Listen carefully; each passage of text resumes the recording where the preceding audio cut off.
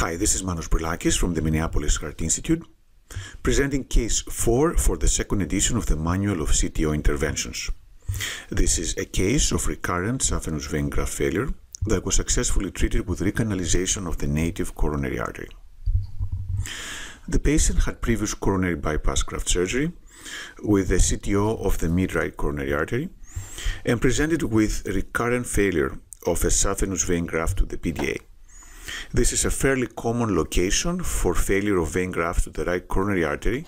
The proximal segment can get restenosed, and sometimes this is due to stent uh, fracture, although it was hard to determine if that was the cause in this particular case. However, there were more previously stents, previously placed stents, and also the patient had a significant lesion at the distal anastomosis of this very diffusely diseased right posterior descending artery. Therefore, given the restenosis in the proximal vein graft, the new lesion in the distal anastomosis, we tried to recanalize the native right coronary. The RCA CTO had a clear proximal cap, had a long occlusion length, essentially from the mid RCA all the way to the PDA, had a diffusely diseased distal vessel, and had the patent vein graft to the posterior descending artery. So given the patent vein graft, our initial plan was to try retrograde, followed by antegrade wire escalation or dissection reentry if the retrograde attempt failed.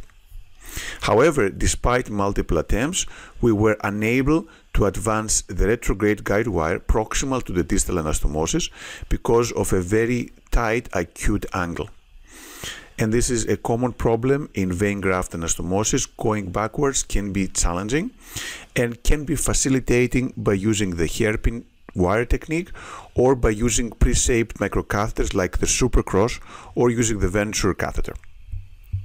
To our surprise, we tried an antegrade Pilot 200 and that very easily crossed all the way to the right posterior descending artery as confirmed by the retrograde guide wire that was already there.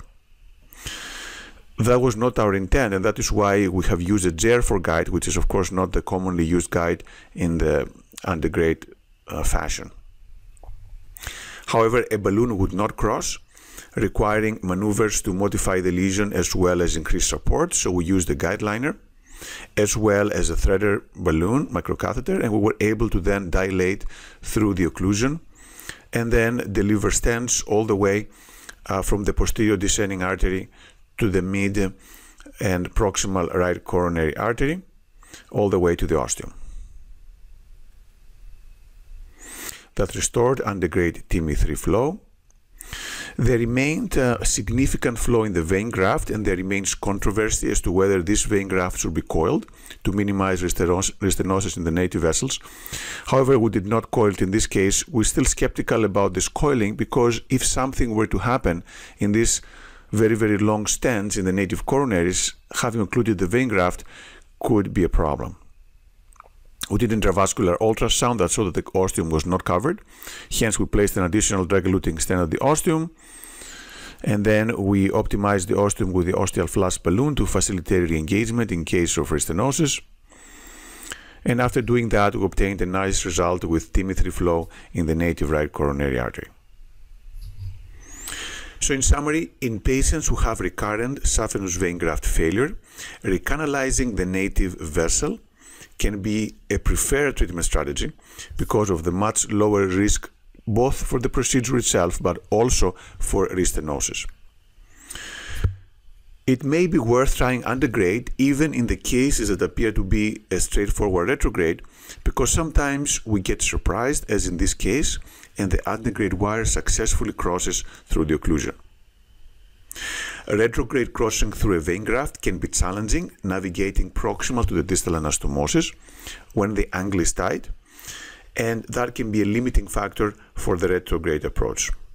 And finally, IVUS can be useful for confirming good coverage of the ostium with stent that can minimize the risk for subsequent in-stent stenosis. Thank you.